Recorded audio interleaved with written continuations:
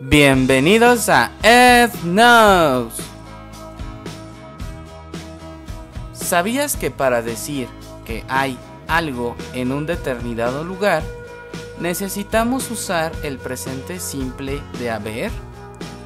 Se forma con there, seguido del presente del verbo to be, en singular o plural, según corresponda. There is se utiliza con los sustantivos contables en singular y con sustantivos incontables. There are se utiliza con los sustantivos contables en plural. Por ejemplo, hay un libro. There is a book. Hay unos libros. There are some books. A continuación, se mostrarán algunos ejemplos en afirmativo, negativo y en interrogativo, para que aprendas a utilizar esta expresión en todas las formas. Afirmativo. Singular, forma larga. Hay una tienda. There is a shop.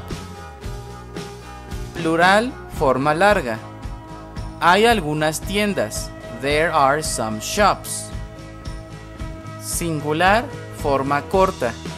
Hay una tienda. There's a shop.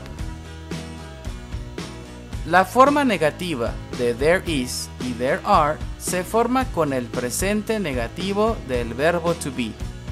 There is not, there are not. Es frecuente encontrar la forma contraída. There isn't, there aren't. En las oraciones negativas hay que tener en cuenta que se usará any y no some. Negativo, singular. No hay una tienda. There isn't a shop.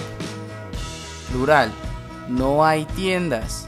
There aren't any shops. Singular, forma larga. No hay una tienda. There is not a shop plural, forma larga. No hay tiendas. There are not any shops.